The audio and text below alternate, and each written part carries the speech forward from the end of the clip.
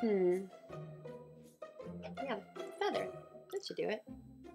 Okay, one, two, three. Hmm. Not so much. Yeah, that should do it. Okay, one, two, three. Yep, that did it.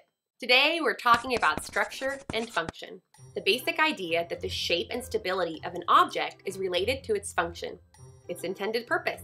Let's take the hammer, for example, one of the earliest tools that humans designed.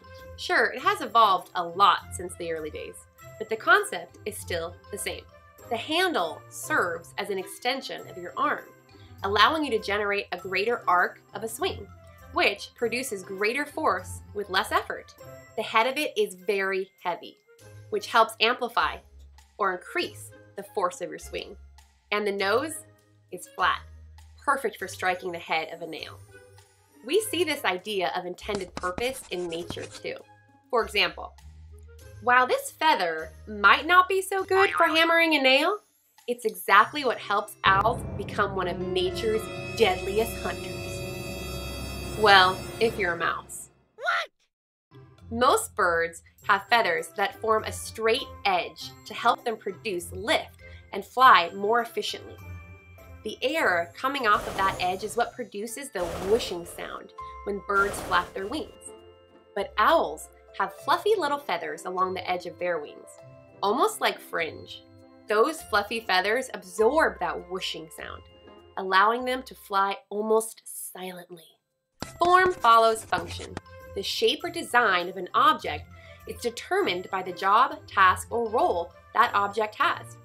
So remember, use the right tool for the job. And to make sure it's the right tool, consider how it's shaped and what it's made up of. Understanding structure and function helps us explain why something works the way it does. Knowing that allows us humans to improve our designs so we can create more successful tools, objects, and machinery. At the Los Angeles Department of Water and Power, they have lots of structures doing lots of functions that you might expect, like big pipes that carry water and high tension towers that support electric cables. But what about this? Yep, it's a ball. You might remember seeing that viral video of these shade balls being rolled into the Los Angeles Reservoir, but do you know why? I mean, why does water need shade? If you guess that it's to help prevent evaporation, you're partially correct. The coverage they provide can prevent up to 90% of evaporation, which is a big deal, especially during a drought. But these balls were not put there just to reduce evaporation. The primary reason is to prevent deadly chemicals from forming. Seriously. You see, when sunlight interacts with bromide, an element that's naturally present in groundwater and surface water, and the chlorine used to kill bacteria, they create bromate, which is a carcinogen. That means it's a substance that can cause cancer. Nobody wants that in their drinking water. So, drinking water reservoirs have to be covered. Most of those covers are solid, but the Los Angeles Reservoir is 71 acres. Building a solid cover for that would cost a lot of money. These cost less than 50 cents. Now there are 96 million of these on the LA Reservoir, so that's still a lot of money, but a lot less than the cost of building a 71 acre solid cover. Interestingly, these floating balls weren't designed to shade water. Their original purpose was to keep birds out of the water near airports or industrial sites. And it wasn't one of LADWP's engineers who came up with the plan.